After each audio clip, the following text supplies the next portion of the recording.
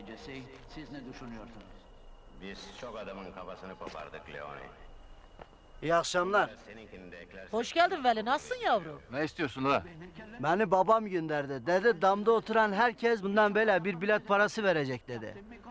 Parayı al biletleri ver sonra da geri gel dedi. Bundan böyle öyle damda bedava film seyretmek yok dedi. Veli? Ne yapayım teyze babamın emridir. Defol git lan buradan. Hadi. Para mara yok hadi. O zaman ben gideyim babama diyeyim ki böyle böyle dediler. Evet öyle diyeyim.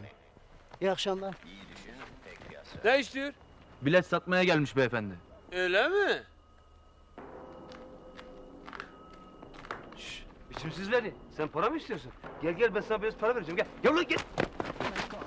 Aman, aman.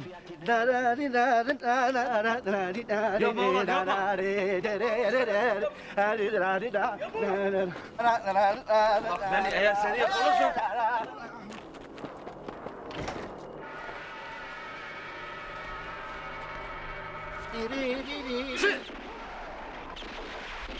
Tamam Sinan Siz seyretmenize bakın.